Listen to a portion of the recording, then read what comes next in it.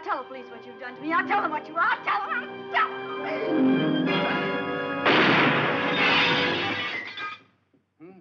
Nice shooting in any league. A girl and a mirror all in one shot. Nick.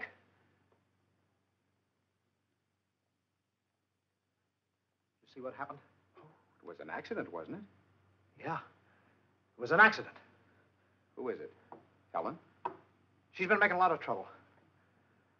What do you do now, Benny? Maybe you got a smart idea.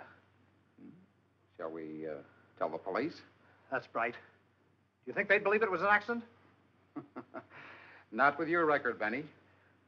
Suppose we don't tell the police and just keep it a secret between us, huh? That's better.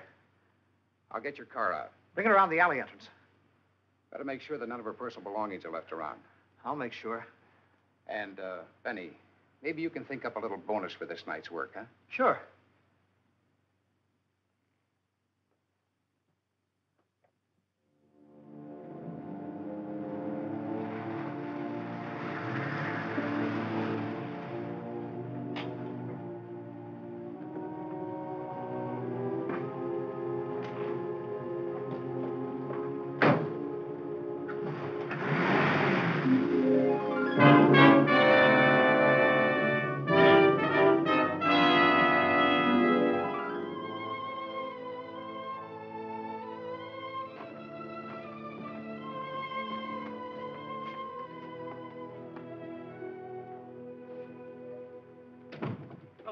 Lieutenant Williams.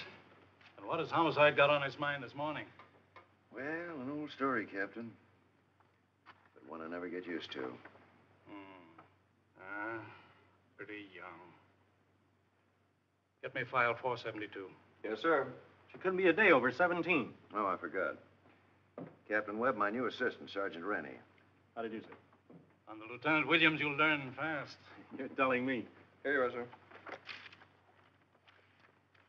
Why, that's just a child. She should be at home wearing her graduation dress. Fifteen years behind this desk, and still I don't get it.